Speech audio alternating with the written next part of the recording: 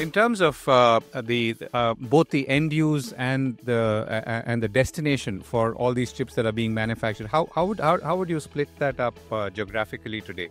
Well, the demand side is a, li- a lot more evenly split, right? Uh, today, China is the, still the largest market as a whole, and they control about a fourth of all the demand for semiconductors.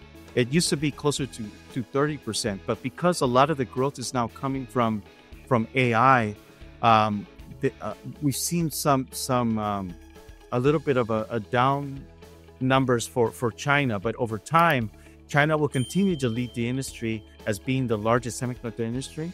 Second would be uh, North America. So in in the Americas, um, of course, PC demand has been pretty healthy, smartphone demand, but the build out of AI infrastructure is what we're seeing today in North America, and it's been basically a land grab. You know, companies like OpenAI and Anthropic and others are working very closely with with the semiconductor companies to build out the hardware that over time is going to drive a lot of the services and and drive the training and inferencing that we want to see across enterprises.